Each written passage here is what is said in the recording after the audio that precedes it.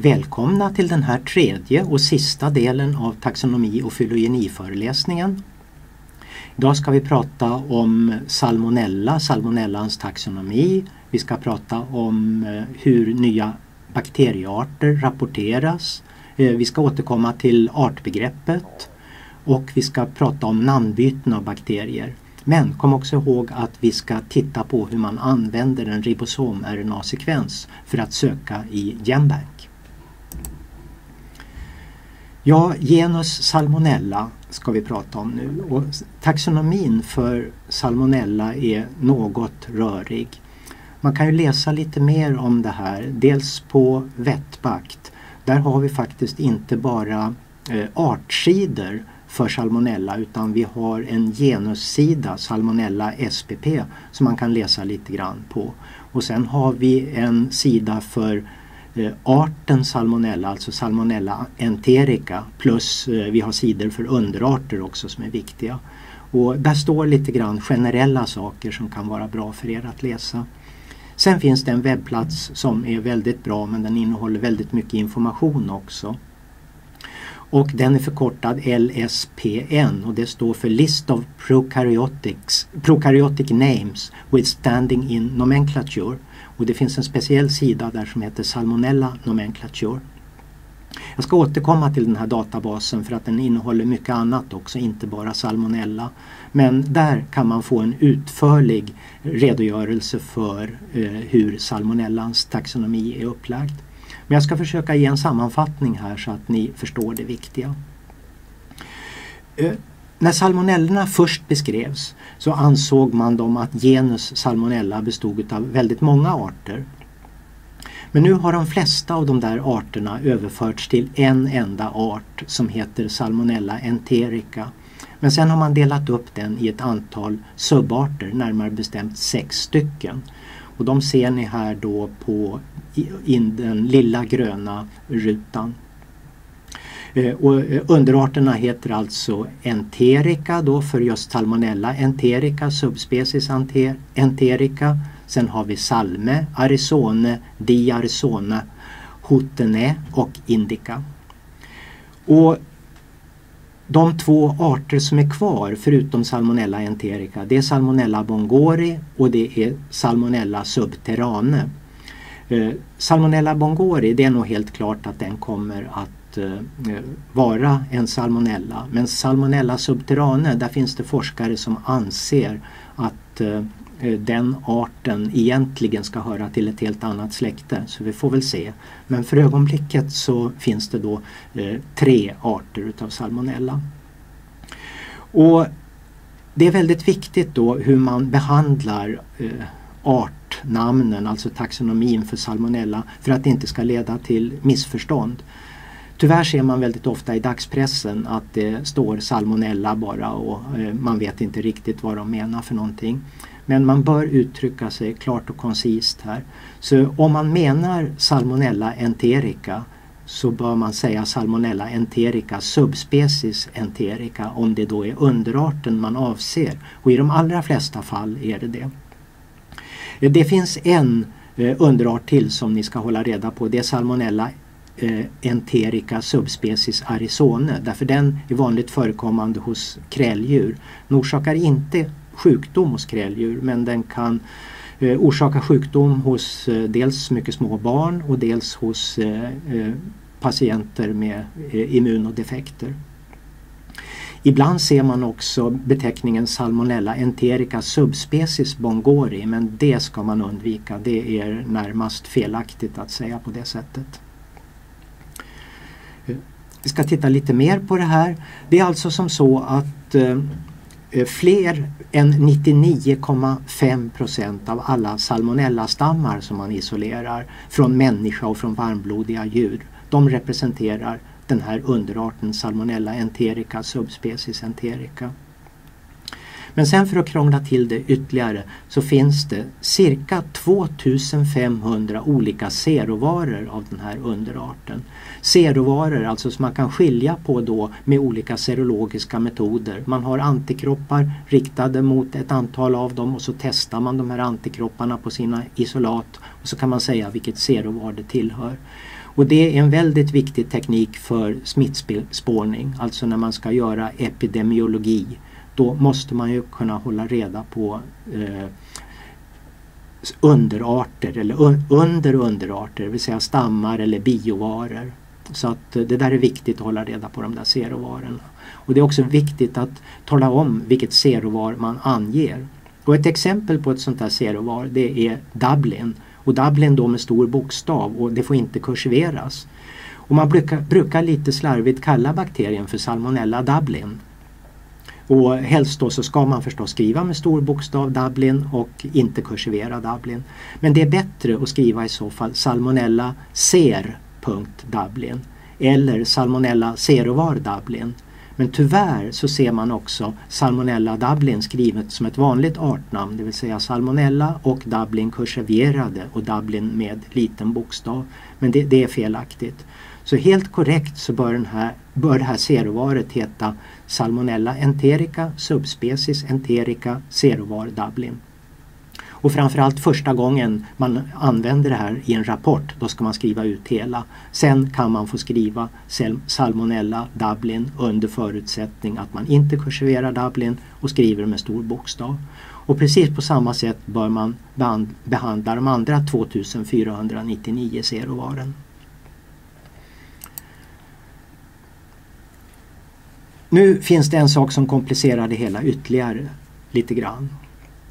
Eh, Salmonella enterica subspecies enterica har haft ett annat namn tidigare, nämligen Salmonella cholera suis subspecies cholera suis. Men så ville man överföra den här cholera suis till ett serovar istället och då måste man byta namn på Salmonella enterica så att säga. Så nu ska den då heta Salmonella enterica subspecies enterica. Men det är i princip inte felaktigt att använda den här gamla eh, underartsbeteckningen, alltså kolera suis. Eh, men det är kanske inte så bra att göra det därför man går mer och mer över till det här nyare sättet att eh, beteckna arten. Så det tycker jag att ni bör göra också. Men i äldre litteratur så förekommer fortfarande de eh, här gamla namnen och även i vissa nya artiklar som kommer ut. Men håll reda på vad som är vad och skriv på rätt sätt. Eh, när vi pratar om det här så kommer vi automatiskt över på trivialnamn. Vad kan trivialnamn vara för någonting? Och det här finns beskrivet lite grann på den bild ni ser nu. Vi har vetenskapliga namn och vi har trivialnamn. Vi kan ju börja med den rödmarkerade här. Genus Salmonella kan man som trivi trivialnamn använda salmonella för. Men trivialnamnet får inte skrivas med stor bokstav och det får inte kursiveras.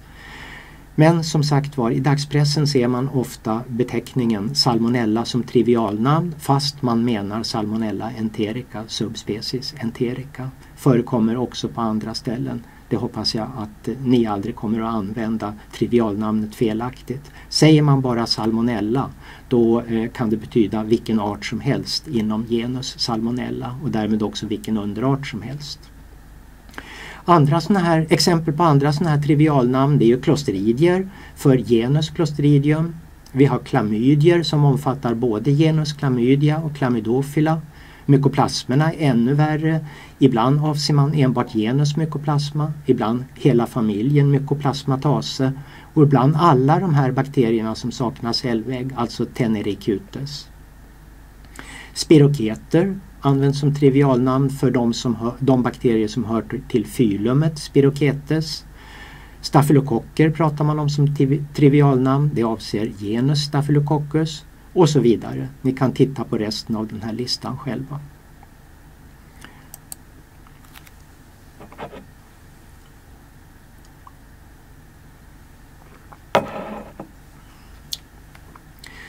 Då ska vi titta på lite andra saker, närmare bestämt på hur man rapporterar nya bakteriearter. Och vad är det som gör nu att man måste vara så noga när man rapporterar nya bakteriearter? Jo, det är förstås det att man inte ska beskriva samma bakterieart vid flera tillfällen och ge dem olika namn. Det skulle ju bli olyckligt om det var på det sättet utan det ska finnas en enhetlig standard för namngivning av bakterier. Och då finns det en internationell kommitté som heter International Committee on Systematics of Prokaryotes som har det övergripande ansvaret för namngivning av bakterier. Och till sin hjälp så har de ett antal subkommittéer för olika grupper av bakterier. Alltså det är orimligt att en enda människa håller, eller en enda eh, liten grupp av människor håller reda på alla bakterier utan de måste ha medhjälpare som sitter i olika subkommittéer. Och där man får in förslag på namngivning av bakterier. Och för att kunna få bakterien namngiven då måste man följa någonting som heter ett minimum standard dokument som beskriver vilka metoder som man ska eh, tillämpa för att kunna beskriva bakterien och vilka kriterier eh, bakterien måste uppfylla för att tillhöra en viss, ett visst släkte. Och sådana här artiklar eh, om eh, den här minimum standard den, de publiceras i en tidskrift som numera heter International Journal of Systematic and Evolutionary Microbiology. Men före år 2000 så hette den International Journal of Systematic Bacteriology. Och eh, arter då som så småningom blir godkända som nya arter eh, av den här eh, taxonomikommittén. De kommer att listas i den här tidskriften. Och om de har publicerats i Eh, Eh, International Journal of Systematic Bacteriology eller den nya varianten av den. Då kommer de i en lista som heter Notification List. Men har man publicerat sin artikel i en helt annan tidskrift, vilket också är tillåtet, då kommer de i en annan typ av lista som heter Validation List. Och nu återkommer vi till den här webbplatsen eh, som heter LPNS.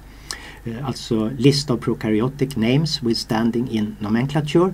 Eh, där finns samtliga bakterier som har fått ett godkänt namn. De finns listade där. Och där, förekom, där finns kvar då också alla gamla artnamn. Så har man bytt namn på en bakterie så finns ändå de gamla artnamnen kvar. Men man kan se i listan vilket är det senast beskrivna artnamnet som ju i de flesta fall är det som bör användas. Sen några ord om en bok som heter Burgess Manual of Systematic Bacteriology. Det är eh, eh, alla bakteriologers bibel. För där förekommer, där finns det beskrivningar på de flesta bakterier. Det sker ju nu så, eh, så nu för tiden att det beskrivs väldigt mycket bakterier så den här boken blir ju aldrig riktigt uppdaterad. Och tyvärr har det tagit väldigt lång tid att publicera den. Man började publicera den 2001, rättare sagt den andra upplagan utav den började publiceras 2001. Och man hade då räknat med att komma ut med en eh, volym om året, eh, fem volymer. Men det tog 14 år. Den sista delen av den sista volymen kom ut i år 2014 alltså.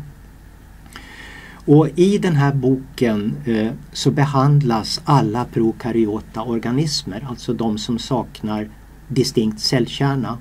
Och det innebär att även arkeer finns med. Så att eh, det behandlar eller organismer inom två domäner, arkeer och bakterier. Och här har man då infört då att de här kategorierna rike och division ersätts av domän och fylum som är det moderna sättet att eh, klassificera bakterier på.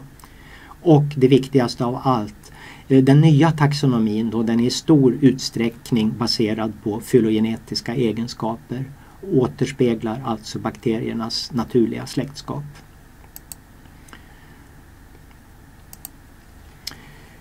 Nu återkommer jag till någonting som jag har lovat vid eh, de båda tidigare föreläsningarna och det är att prata om artbegreppet för bakterier. Vad består en bakterieart utav? Ja, man kan säga att det är en grupp utav stammar som har liknande fenotypiska egenskaper och som skiljer sig från alla andra grupper av stammar. Det här är då tyvärr en väldigt subjektiv metod. Därför eftersom det sitter olika personer i de här olika subkommittéerna så bestämmer man olika egenskaper för olika bakterier som ska tas med i beräkning när man ska bestämma om det är en viss art eller inte. Det vill säga, det finns inte en enhetlig beskrivning för olika grupper av bakterier vad en bakterieart är för någonting utan man får använda en lite mer eh, vag beskrivning som det här med en grupp av stammar med liknande fenotypiska egenskaper. Eh, ska man ha en mer objektiv metod då kan man använda sig av en metod som heter DNA-DNA reassociation. Och eh, den eh, är ett mått på likheten i DNA-sekvenserna i bakterierna. Och där brukar man säga att Eh, om man gör de här typerna av experiment, alltså man tittar helt enkelt på hur lika två DNA-sekvenser är genom att se om de kan baspara med varandra, alltså om man kan få en dubbelsträngad eh, DNA utav dem och i hur stor omfattning de basparar. Och det går att bestämma med olika tekniker. Och man brukar säga om att det här DNA, DNA-reassociationsvärdet överstiger 70 procent. Det är alltså ett mättekniskt värde. Eh, då motsvarar det ungefär 95 procents sekvenslikhet och eh, då kan man säga att eh, de två stammarna motsvarar också samma art om värdet överstiger 70 procent. Men det här är en ganska grov metod och man kan säga att det vore bättre att basera det här på sekvenslikhet likhetsvärden från helgenomsekvenser istället. Det skulle låta sig göras idag. Alltså, det är inte så dyrt längre att göra en helgenomsekvens. Däremot krävs det mycket datakraft för att utvär utvärdera resultatet och för att jämföra olika bakterier med varandra. Och Det finns ytterligare en hake.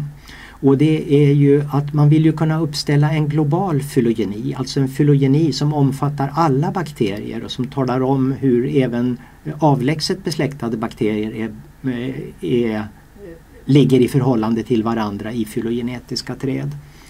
Och det förutsätter ju då att alla bakterier har samma gener, vilket de inte har. Många bakterier saknar gener som andra bakterier har. Det vill säga man kan inte använda alla gener i en sån här helgenomsekvens. Man måste välja ut de som man ska använda för fylogenetiska studier. Och det är ett ganska så grannlaga arbete.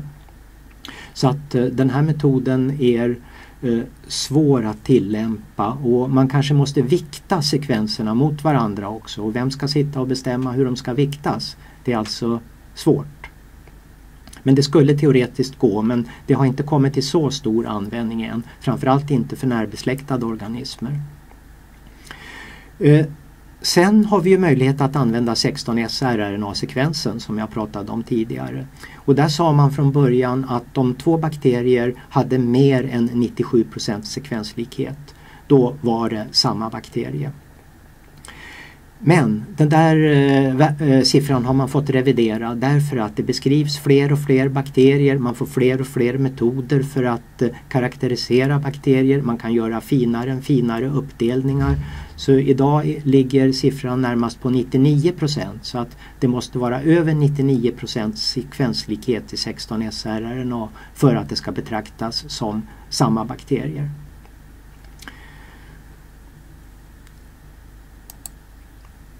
Då ska vi titta igen lite grann på lite olika bakteriearter och stammar och se hur de kan förhålla, förhålla sig till varandra.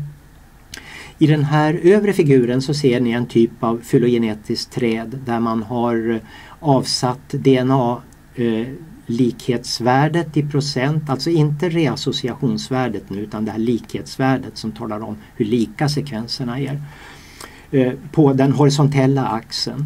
Och ni ser att den går från 70 till 100 procent ungefär. Och om vi i det här trädet tittar på stam 4 och 5 och stam 6 och 7 Eh, jämför dem då med varandra. Stam 4 och 5 ligger på samma eh, horisontella eller har samma horisontella avstånd från varandra kan man säga. Liksom stam 6 och 7 ligger på samma horisontella avstånd. Och därför är ju det samma art. Det, det, de har ju ingen sekvensskillnad då innebär ju det. Om vi tittar på stam 1 och 2 och jämför dem istället så ser vi att där har vi ett visst litet horisontellt avstånd mellan dem. Det är alltså en viss liten sekvensskillnad men det är inte så mycket. Och inte heller till art 3. Så de, eh, eller stam 3 ska jag säga. Så de arterna representerar också samma art. Och sen eh, om vi jämför art C med övriga arter så ligger ju den jättelångt ifrån. Och vad vi kan se då det är att sekvenslikheten då när vi pratar om samma art ligger runt 95 procent. Men eh, sekvenslikheten mellan C och övriga arter den ligger ju under eh, 85 procent. Så att där eh, är det till och med olika genus. Så arten A och B representerar ett genus men arten C representerar ett annat genus. Så kom ihåg igen att gränsen mellan arter är artificiella. Så man isolerar tillräckligt många stammar av närbesläktade arter då kommer man alltid att hitta varianter som hamnar någonstans i någon gråzon mellan de här arterna. Och det ska illustreras av figuren längst ner till vänster. Ja, jag ska prata om artbegreppet lite grann igen.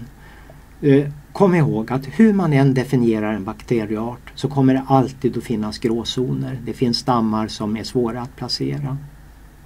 Och idag så finns det ungefär 15 000 beskrivna och namngivna bakteriearter. Och fynd av nya bakterier rapporteras hela tiden. Det är flera rapporter om dagen. Ja, kanske flera rapporter i veckan åtminstone om nya bakteriearter. Eh, men jag sa ju tidigare att det finns 3 miljoner rapporterade 16S rRNA-sekvenser i Genbank eller i en annan databas som heter RDP, står för Ribosomal Database Project. Och hur kan det komma sig då att det finns så många rapporterade sekvenser men bara 15 000 beskrivna eh, bakteriearter? Ja, anledningen är ju egentligen ganska enkel men man kanske inte tänker på den i första taget. Det är ju det att det finns massor av sekvenser rapporterade för olika stammar utav en och samma art. Och framförallt om man tittar på bakterier som är eh, intressanta ur medicinsk eller veterinärmedicinsk synpunkt då har man deponerat väldigt många sekvenser från olika stammar av en och samma art. Och dessutom finns det sekvenser som är bestämda från DNA som man har isolerat från eh, olika ekologiska nischer som jag pratade lite grann om förra gången och där det inte finns någon bakterie som man har beskrivit bakom. Man har inte lyckats beskriva bakterien eller man har inte lyckats odla den. Man räknar med att man kanske bara kan odla säg 20% av alla bakterier som finns. Så att eh, där finns mycket att göra. Och ju fler bakterier som beskrivs desto svårare blir det att klart definiera en art. Och det där medför ju också att laboratoriediagnostiken försvåras och man behöver bättre och förfinade diagnostiska verktyg. Och när man då använder och tillämpar de här förfinade metoderna då händer det att man hittar då eh, bakterier som har placerats felaktigt i ett visst släkte och då, som ni ser på nästa bild, så eh, byter man namn på de här bakterierna.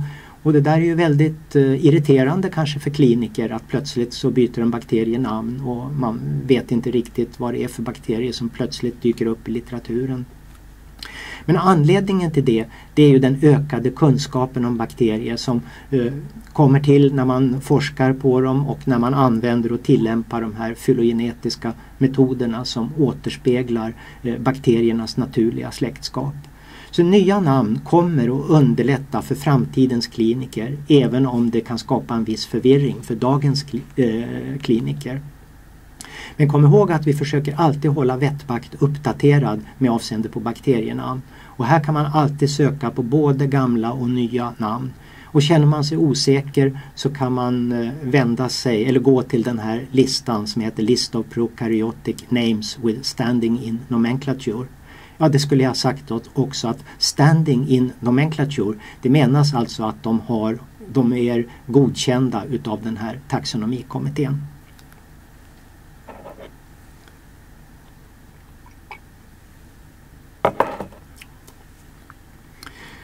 Sådär, nu tänkte jag att vi skulle eh, gå över till att titta på hur man använder en sekvens för att söka i Genbank.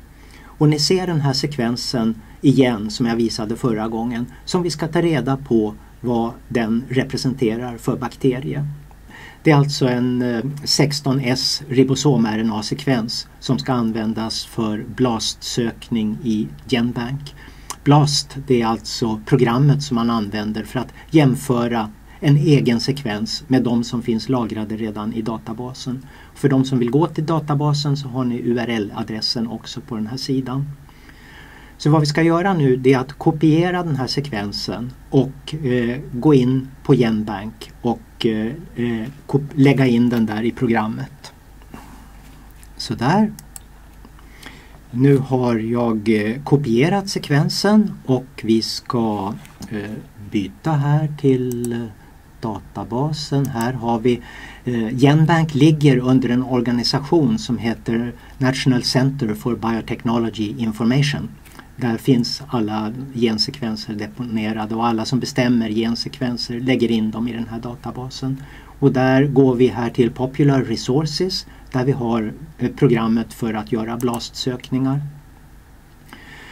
Eh, och här gäller det att eh, välja rätt då. Vi ska alltså göra en nukleotid, vi ska jämföra nukleotider med varandra och inte proteiner. Så att vi klickar på Nucleotide Blast. Och här kommer vi in i formuläret där vi kan klistra in vår sekvens och då gör jag det nu. Där sitter sekvensen på rätt ställe. Och vi kan skriva ett namn på vårt jobb här. Vi kan ju skriva då Vettvakt. Och sen ska, får vi titta på att det är rätt ifyllt här för övrigt, vilken databas vi ska ha. Vi ska inte ha databasen för human, humana genomet, inte för musgenomet utan det är others här som gäller. Och då ska det stå Nucleotide Collection här. Och Sen behöver vi inte bry oss om att fylla i någonting mer utan eh, vi ska ha highly similar sequences också och så gör vi blast. Då startar vi programmet. Nu skickas sekvensen till eh, databasen i USA och här jämförs vår sekvens med miljontals andra sekvenser och därmed också miljarder nukleotider. Det finns speciella algoritmer för det här som snabbar upp processen och som gör att det ändå går relativt fort och det brukar ta kanske någon halv minut att få ut ett svar. Och det kommer här förhoppningsvis alldeles strax. Vi ser att den letar efter resultat hela tiden och där kom resultatet. Och då får vi först en grafisk presentation av de här likheterna. Vi ser att vi har vårt jobb här, det är korrekt, Vettbakt står det där och sen så scrollar vi ner för att se hela den här bilden. Och för det första så kan vi se på färgen av de här linjerna om det är en låg sekvenslikhet eller om det går åt det här röda hållet så att det är en hög sekvenslikhet. Och det ser vi att på alla sekvenser som är listade här så är det väldigt hög sekvenslikhet. Och eh, de översta här är längst Eh, det innebär att sekvenserna som är deponerade är lika långa som den vi har skickat in. Sen blir det lite kortare sekvenser här längre ner. Här kommer lite längre sekvenser också men de har då förmodligen lägre sekvenslikhet än våra övre här men de ligger ändå över det här skårvärdet på 200. Då kan vi gå ner och titta lite längre i den här listan. Det är en jättelång lista som vi får ut. Här får vi upp bakterienamnen också. Och vi ser att överst på den här listan så hamnar Streptococcus equi, subspecies equi. Eh, sekvensen representerade alltså den bakterie och det är en väldigt viktig bakterie inom veterinärmedicinen. Den orsakar ju kvarka hos häst och vi ser också att väldigt många stammar utav den har sekvenserats. Så här är det ju huvudsakligen stammar utav Streptococcus equi, subspecies equi som kommer upp. Men vi har även en del stammar av Streptococcus equi, subspecies zooepidemicus. Därför att deras sekvenser är också väldigt lika den här equi-sekvensen. Och det kan vara svårt kanske att med enbart 16S rRNA-sekvensering kunna skilja på de här båda underarterna. Eh, går vi ner längre här i listan så ser vi det fortfarande eh, bara streptokocker man ser.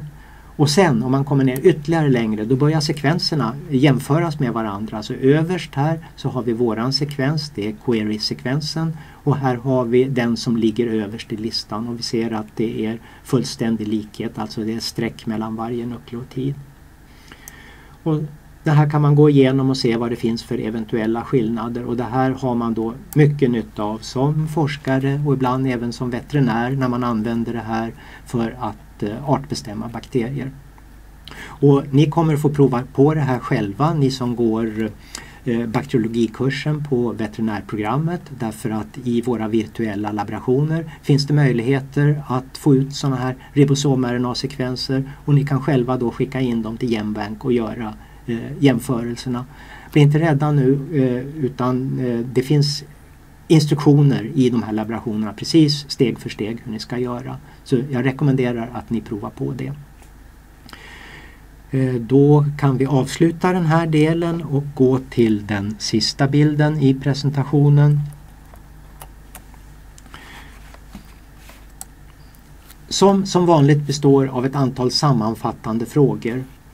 Och de här frågorna bör ni kunna svara på efter den här föreläsningen. Kan ni inte det får ni gå igenom den igen eller gå in i Vettpakt och eh, läsa mer. Tack ska ni ha för uppmärksamheten och jag hoppas att vi ses så småningom.